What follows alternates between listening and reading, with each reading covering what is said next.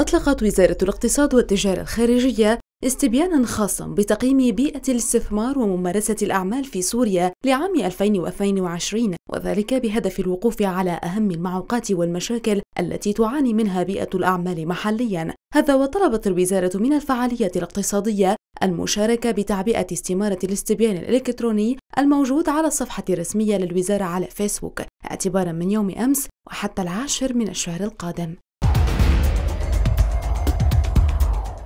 كشف مدير مديرية أنظمة الدفع في مصرف سوريا المركزي عماد رجب أنه تم ترخيص ثماني شركات محلية للدفع الإلكتروني لديها كافة أنواع الخدمات المصرفية الإلكترونية من بوابة الدفع الإلكتروني للإنترنت وصولا إلى البطاقة المصرفية التقليدية. ولفت رجب إلى أن مصرف سوريا المركزي أنجز عمليات الربط بين خمسة مصارف وأصبح يمكن لأي بطاقة مصرفية من ضمن هذه المصارف العمل على قنوات المصارف الباقية.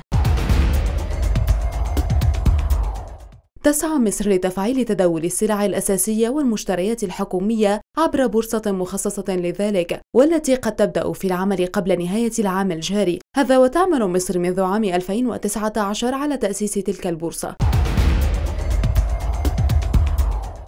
أعلنت هيئة الطاقة البريطانية رفع سقف فاتورة الكهرباء للمستهلكين بنسبة 80% لتبلغ 1971 جنيها اعتبارا من تشرين الأول أكتوبر القادم.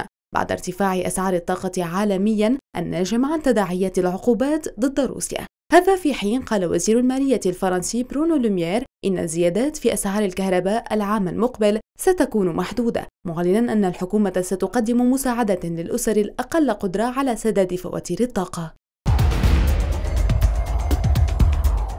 توصلت الحكومتان الأمريكية والصينية إلى اتفاق أولي يسمح للمسؤولين الأمريكيين بمراجعة وثائق المراجعة المحاسبية للشركات الصينية التي يجري تداولها في الولايات المتحدة كخطوة أولى لتجنب شطب أسهم نحو 200 شركة من بورصة نيويورك. ويمثل الاتفاق اختراقا نحو حل خلافات مستمرة منذ عقود بين الدولتين بشأن الوصول إلى أوراق المراجعة المحاسبية.